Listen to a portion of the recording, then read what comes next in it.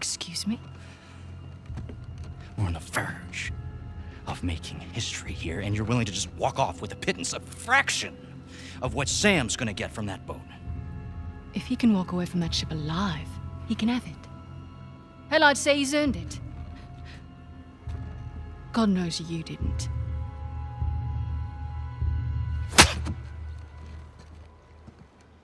Now look, we can stand here and insult each other all day, or we can finish what it is that we've Oh, we're finishing it all right. Sorry, man.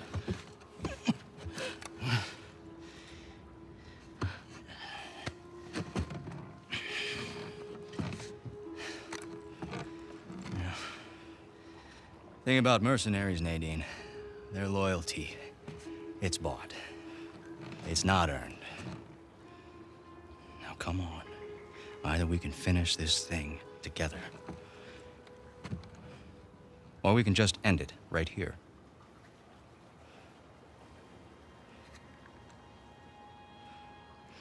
Let's go make history. Not a girl.